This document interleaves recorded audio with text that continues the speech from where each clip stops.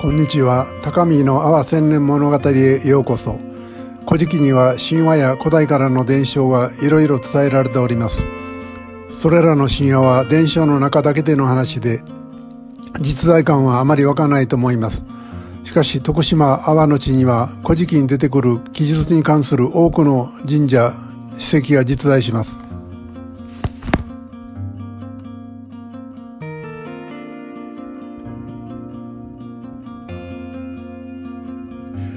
奈良の都は710年から794年までのわずか85年間の都です。それ以前は阿波に約1000年間都がありました。その歴史は阿波の現地を訪れてそして古文書伝承等を調べない限り見えてきません。奈良時代の直前の飛鳥時代は592年の推古天皇即位から710年の奈良平城京遷都までの118年間であり奈良時代より長い激動の時代でした。そこには天皇家王位継承に絡む蘇我氏と物部氏の壮絶なバトルが繰り広げられていました。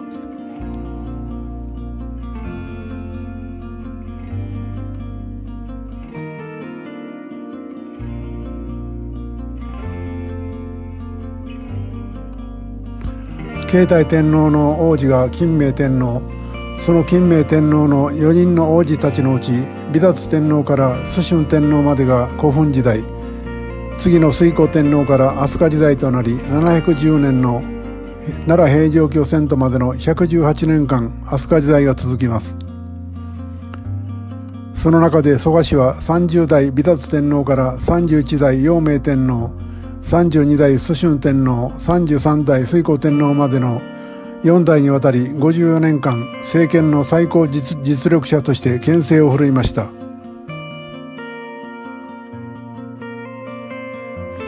587年美達天皇崩御後推古天皇即位を支持する蘇我の幕は皇位を狙う穴穂部の御事後ろ盾の物部氏を殺害し物部氏一族は滅亡しました。そして大友氏に近づく蘇春天皇が蘇我一族の権力基盤を脅かす状態になりうまくは蘇春天皇を殺害しました。日本史史上唯一進化に殺害された天皇です。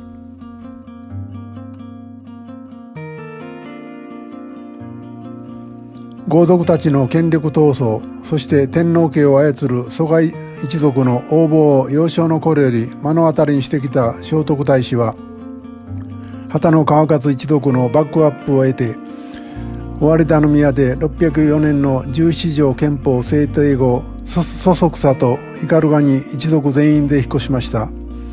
阿波に残っていたのではいずれ自分の身も危ういと感じたのかもしれません。33代推古天皇は史上初の女性天皇になった人です。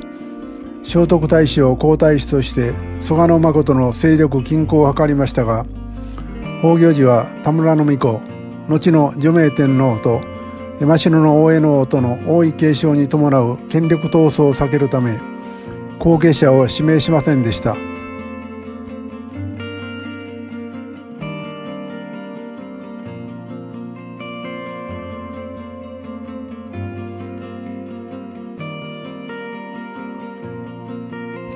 それでは次に各天皇の宮の場所と主要豪族の拠点を紹介します。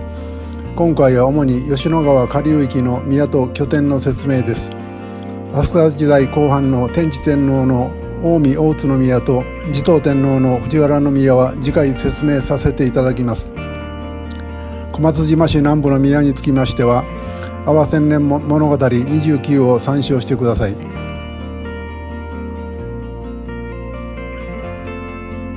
32代蘇春天皇の初瀬宮は鳴門市無谷町木津の長谷寺辺りです。近くには天智天皇の近江大津宮や柿本一丸の生誕地があります。今の鳴門市里浦の一丸神社のあるところです。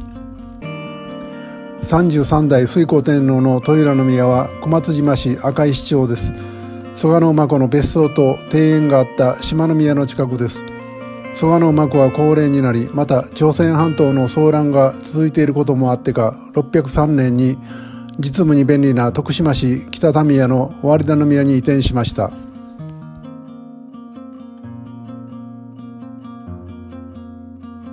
聖徳太子の宮は徳島市幸雨町の上津宮でした。604年の十四条憲法発布後翌年には一族揃って斑鳩に引っ越しました。水光天皇のそばで政務を行ったのは13年ほどでその後20年ぐらいは斑鳩の地で主に朝鮮半島との外交を行ったのではないでしょうか。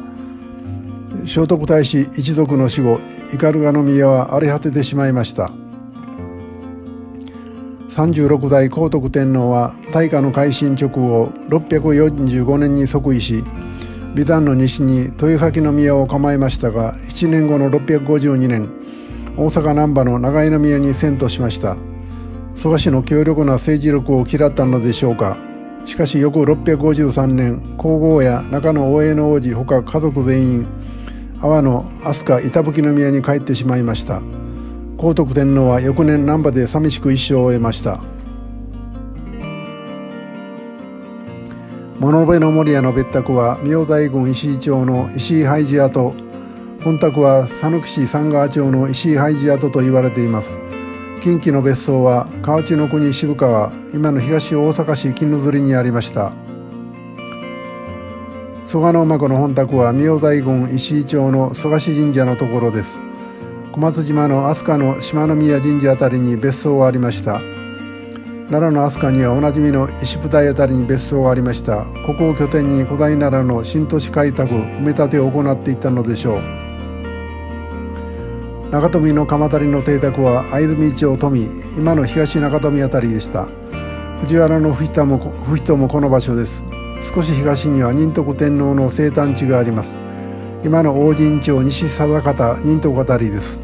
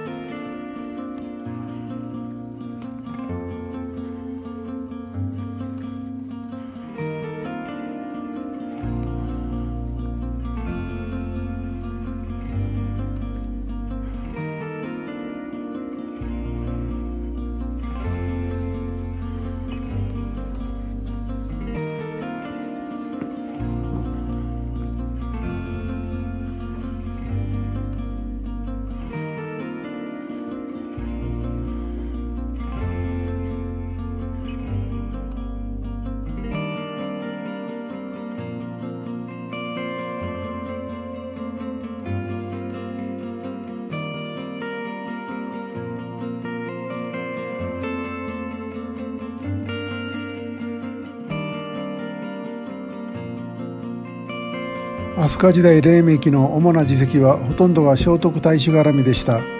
金明美達陽明蘇春の各天皇の事績はほとんど表に出てきません。540年金明天皇即位同時に蘇我氏が台頭してきました。562年茅が滅亡。574年聖徳太子誕生。587年陽明天皇が崩御し蘇我の孫は穴穂の御子と物部の守屋を殺害しました。592年水光天皇が即位し飛鳥時代の始まりとなりました。595年宝光寺603年に広隆寺が建立されました。600年白木討伐軍を派遣しました。604年尾張田宮で17条の憲法が制定されました。605年聖徳太子が斑鳩に移住。606年には法隆寺が落成しました。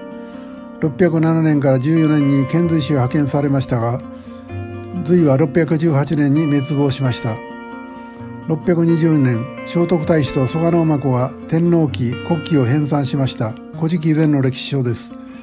622年聖徳太子が斑鳩にて死去しました。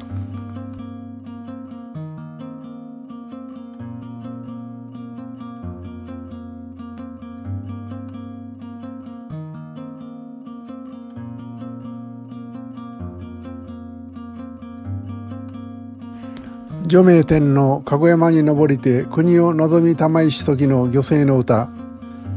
大和には村山荒れど取りよろう雨の籠山登り立ち。国見をすれば国原は煙立ち立つ海原はかもめ立ち立つ馬し国そ秋津島大和の国は。万葉集二番のこの歌は千代ヶ原の飛鳥岡本宮に住む34代除名天皇がすぐ北の日の峰旧名かぐ山に登って麓を見下ろした時の歌です。大国主が治めていた古来より豊足原中津国の平野は民家の家から水地の煙が立ち上り海にはカモメが飛び交っているよああ大和の国は良い国だという意味です。ここ小松島は昭和の近年まで沖合にカモメが飛び交っていました。カモメは主に沿岸部に生息する鳥であり奈良の盆地の中でカモメの飛び交う姿を見るのはちょっとありえないと思います。